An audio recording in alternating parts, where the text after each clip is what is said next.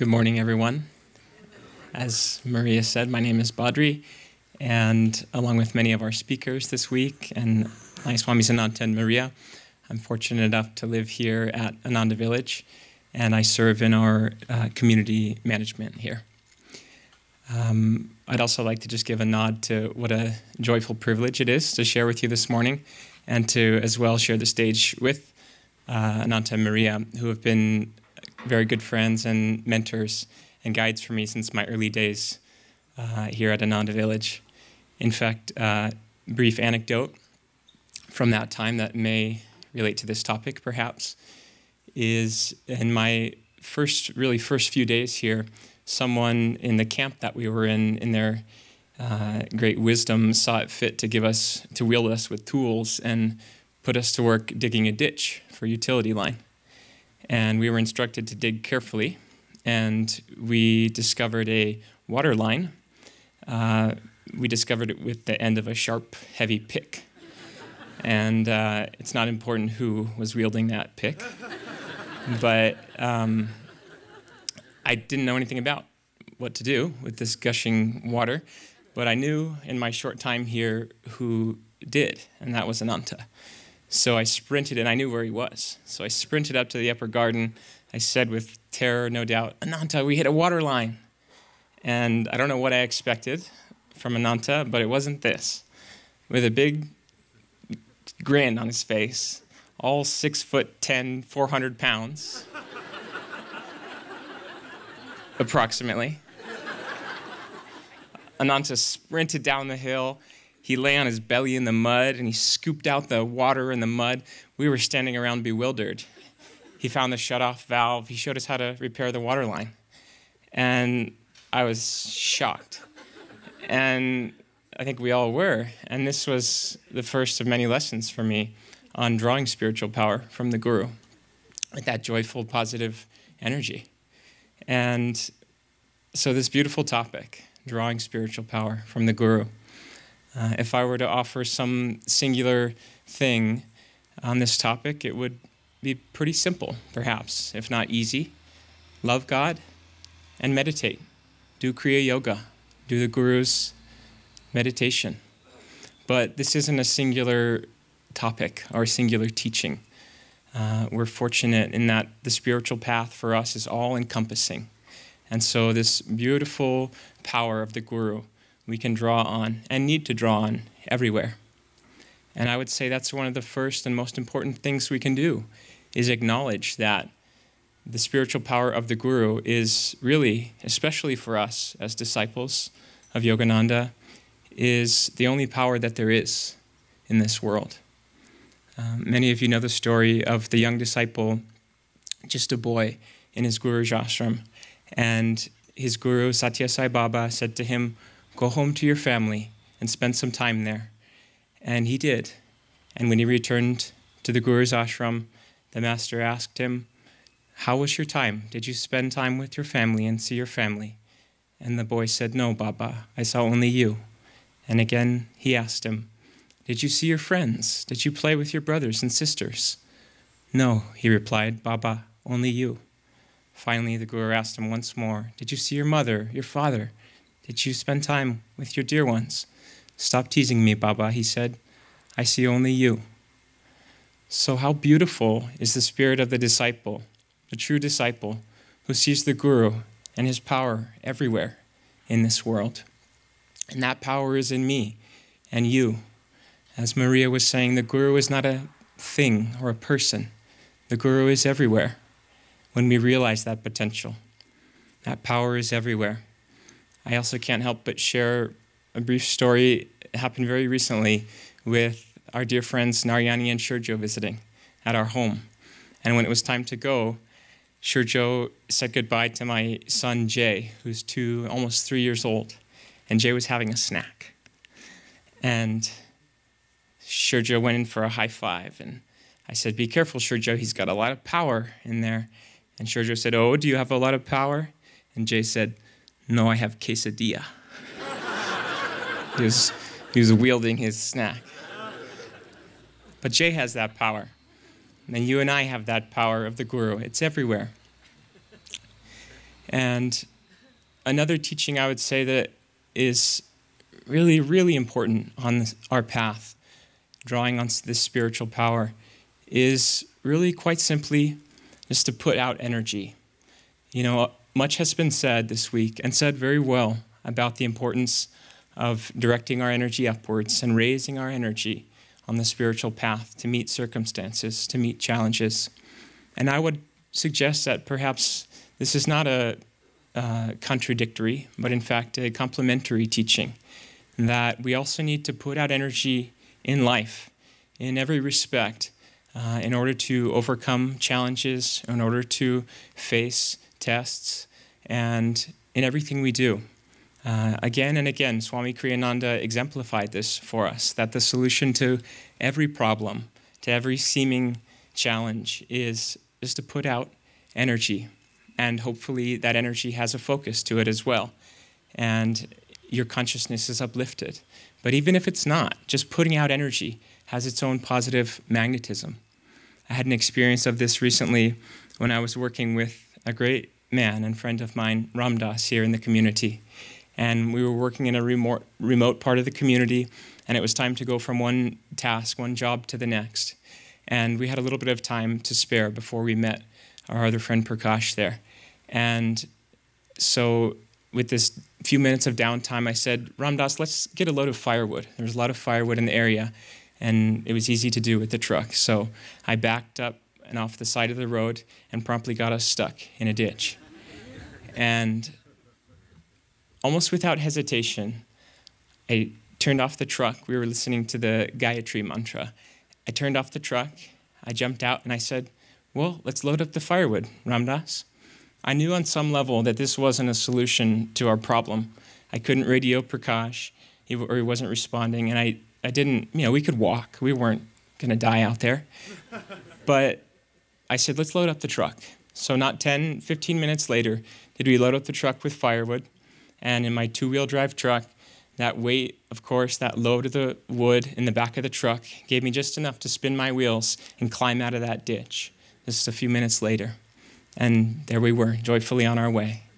And so often it's these simple examples that are instructive to us on how to live our lives on the spiritual path, on how to put out more and more energy for God and Guru. Another uh, teaching, very important teaching, that I would say has been a bit of a touchstone this week is the power of spiritual community and satsang, and really in its essence, divine friendship. I was struck some weeks ago when I was sitting where you are now, and I was listening to a Sunday service talk, and something caught my eye. Mind you, I was listening to the talk. But behind me here in Lotus Lake, before the lotuses were in full bloom like this, they were in circular and irregular patterns. And I observed as a lovely June breeze came down through this little valley. I observed all the water whipped up and ripples and wavelets. But over here in the corner, this circle of lotuses created a still pond where the water was totally un- undisturbed and reflecting the trees and the skies above. And I thought, isn't this beautiful?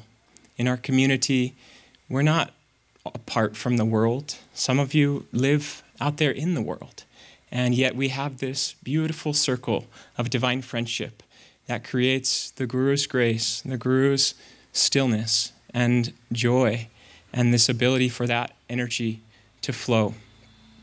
You know, we have an internship program here at Ananda Village, and for the second year in a row now, we have a just exceptional bunch of young interns who are so devoted to the spiritual life, to service, to joy, and the spirit of Ananda. Uh, time and again, they've shown in ways large and small just that, uh, that joyful spirit is what wins out in the end. Their camp has at times been infested with flies and flooded, and last year kind of turned into a moldy swamp. And these guys just smiled and said, let's find a solution and let's fix it and let's go forward. And time and again, that inspiring spirit that we see shared through one another is really the power of the Guru. You know, the other side of this teaching that you know, we need to put out energy. We need to have friendships and community that supports that energy. Is that we can't really or ever do anything. It's the Guru's grace that accomplishes anything and everything in our spiritual life. Uh, reminiscent of Maria's story of crossing the river is the story of uh, another disciple in India who, upon seeing his guru across the Ganges River, beckoning to him, without hesitation, stepped out on top of the water, and a lotus flower rose to meet his foot. And with each successive step and footfall, the lotuses rose up out of the water to meet his steps. And when he crossed to the opposite bank, he knelt at his guru's feet and received his blessing and was given the name Padma Pada, a lotus foot. And isn't it so that when we put out energy with faith, the Guru's grace is there? And he's always there, in fact, when we need him. In the autobiography of a yogi, you may recall that when Lahiri Mahasaya had this blissful experience of meeting his guru again in the Himalayas, receiving discipleship and initiation into Kriya Yoga, no doubt he was in ecstasy, golden palace and all. When it was time to go back to his life as a householder, as an accountant, he knelt and received his guru's blessing. And among other things, his guru, uh, his guru Babaji told him, Lahiri, whenever you call, I will come. And Lahiri remembered this promise. And it wasn't but a short time later that he was visiting with some friends, and he shared about this unbelievable experience, which they in fact did not believe, in the Himalayas with his guru. And Lahiri said, Even now I can call to him, and Babaji will appear. And no doubt, still in disbelief, Lahiri decided to use this promise. And he meditated, he dimmed the lights, he invoked the presence of Babaji, and lo, this luminous figure appeared in their midst. And Babaji, looking around him, exclaimed, Lahiri, you call me for a trifle? And Lahiri somewhat sheepishly said, Since you're here, Master, won't you bless us? And so he stayed and they shared prashad and he blessed them all. But when it was time to go again, this time Babaji departing, he said, Lahiri, from now on I will come not necessarily when you call, but when you need me. and again, isn't it so that when we need him, no doubt God and Guru is always there. And we don't know when we need the Guru. Very often we call thinking we need him, but it isn't necessarily so. Swamiji was this way, and Yogananda was, of course. Um, some of us might have emailed Swamiji or reached out to him, and he never responded. And perhaps there was a reason why. You know, the Guru teaches in ways that we don't always understand. And it's important that we offer our love unconditionally and follow that guidance and that grace of the Guru. As the great poet Saint Kabir said, the Guru has made me walk without feet, see without eyes, hear without ears. My love and meditation has taken me to a land without day and night, light and darkness. The Guru is great beyond words, and great is the good fortune of the disciple. And that is our good fortune and our grace. There's one more element I'd like to share with you uh, a very important way to draw spiritual power from the Guru is through the element of play. You know, so much of the spiritual path is seemingly perhaps hard work and meditation and selfless service. And no doubt it is. And those are joyful things too.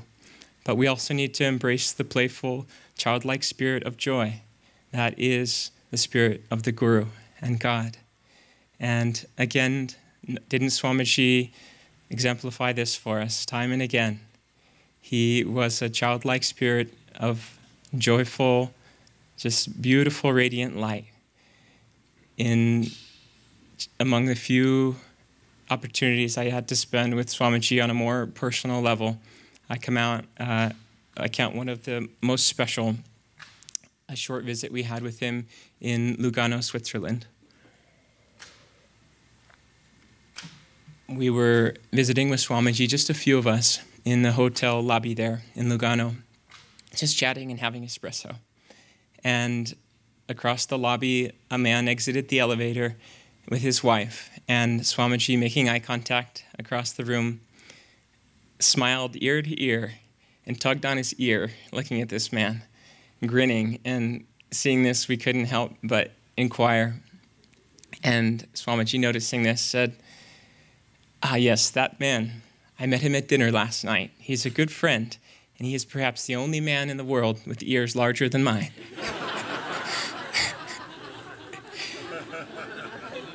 And darned if he didn't make friends everywhere he went with complete strangers and share God's joy and love and kindness. Yes, through humor, through joy, through friendliness, but always in that upward direction. He said once that sharing God's love and kindness is the most important thing we can do on the spiritual path. And another way this element of play can really manifest powerfully in our spiritual life is, of course, through nature. I was so deeply touched on Wednesday evening at what I think was the most beautiful concert I've ever heard. Just uplifting and blissful beyond, beyond words. And among really everything, I was deeply moved uh, as well by the performance of the birds of the air, you know, where we were expressing together that beautiful essence of Divine Mother's love and joy and beauty through the natural world. Had an experience of this recently with my daughter, Tulsi, age nearly five, and we were cooling off at the nearby watering hole, Oregon Creek. And one of our favorite things to do is to walk upstream at the creek there through the river and look for fairies. And as we embarked on this little journey, we invoked together the presence of the masters, of the nature spirits, of Divine Mother in this beautiful natural environment. And immediately, as we set out hand in hand, wading through the rocks and the water, we noticed the light shimmering off the water on the rocks around us. And we saw a turtle shortly on the banks of the river. We picked him up and we played with him and we named him and set him free we went a little further upstream. Not a few minutes later, I kid you not, a single carnation, a pink flower, floated down the river and landed right in Tulsi's hands. And we continued on our way, just drinking in the joy and the beauty of nature. We found fairy villages amongst the rocks and just saw that magic of Divine Mother everywhere in nature. It's there for us to behold. And of course, our master as well, Yogananda ji, exemplified this childlike joy and this spirit as well. You may recall this story when he was in a hotel room with uh, an adjoining door to two close disciples, Dr. and Mrs. Lewis, and they were in bed with the lights out. It was time to go to sleep, especially for Mrs. Lewis. And yet, Master exclaimed with sort of a nonsensical cry, Subgum duff. And he continued in this manner, and uh, Dr. Lewis was perhaps a little amused, at least. Mrs. Lewis was not having it. She said, He's not going to disturb my sleep. And finally, when he cried out for the fourth or fifth time, again with this gleeful nonsense, super submarine sub gum duff, they just burst out laughing. And of course, the most important part of the story what did they do after that? They stayed up the whole night talking of spiritual things, sharing a divine friendship, meditating. And this is where our friendship and our joyful spirit and our play should always lead us, is towards God. Lastly, I'd like to share with you a story just briefly about a dear friend of ours who really exemplified these qualities of putting out energy of the Guru's grace and this joyful, childlike spirit. His name is Andrew Banks Lyon, and we knew him as Andy Lyon. And Andy Lyon was diagnosed with Hodgkin's lymphoma, cancer, at age 19. They found the node in his neck, very close to his cervical spine. He was a student at UC Berkeley at the time, studying astrophysics. And Andy underwent the traditional treatment of radiation and chemotherapy, and the cancer went into remission. But only a short while later, it came back again, this time more aggressive. And again, he underwent the called for treatment, this time more intense, of a stem cell transplant. Again, the treatment was successful, the cancer went into remission, and again it came back some weeks later. This time, his body was riddled with tumors. And Andy decided then to go on a healing journey, a spiritual healing journey. And so he left traditional Western medicine behind and he studied Ayurveda, the Vedic science of healing and medicine, and continued his quest, which brought him here to Ananda village sometime around 2011. And in fact, it brought him to the tiny town of North San Juan. He wasn't looking for Ananda, course, but it found him. And he showed up here kind of on our doorstep and he became a disciple and took initiation into Kriya Yoga and continued his healing journey here for about a year or so, uh, living in the Guru's ashram. And after a time when it became clear to Andy that his healing journey would not end in the healing of his physical body, he decided to spend whatever time he had left on earth uh, on a different kind of journey. He set out to hike the Pacific Crest Trail, 2,300 miles from Mexico to Canada. Andy didn't have experience with this kind of hiking, but he knew that was what he was inspired to do, and with Guru's grace and power, he could do it. So he set out and hiked sometimes 20, 30 or more miles a day with shooting pain down his leg and no doubt throughout his body. They called him by his trail name Astro, and he made friends everywhere he went on the trail. And he drank in the beauty of nature the trees, the mountains, the rivers, and just had the most beautiful experience despite his struggles. Uh, he did complete that journey. He stumbled into a hospital in the state of Washington just at the end of his journey, but only after a short treatment was on his way to finish at the Canadian border in the snow amidst the trees there. And there's a photo of him with a blissful smile, having completed that journey. Andy, a short time later, returned here to Ananda village to die. And he passed away peacefully on a Friday morning in August, just like this, with a smile on his face at the Crystal Hermitage. And we all went over for pizza after that to visit with him. A very short time later, we held an astral ascension ceremony with Ananta and Maria for Andy just through the trees here at Hansa Mandir. And some of you may remember that day five years ago on a morning like this. A very unusual and beautiful double rainbow appeared in the sky, stretching from the Crystal Hermitage over Hansa Temple. And we knew that God and Guru were smiling uh, with joy, with this grace and this power on their child, on their chela, their disciple Andy Lyon, as they are on all of us. I'd like to close with a prayer from Master's East West magazine, published nearly a hundred years ago. Father, I will drink thy vitality through the fountains of sunshine. I will drink thy peace through the silver cup of mooned nights. I will drink thy power in the mighty cup of the wind. I will drink thy consciousness in all the little cups of my thoughts.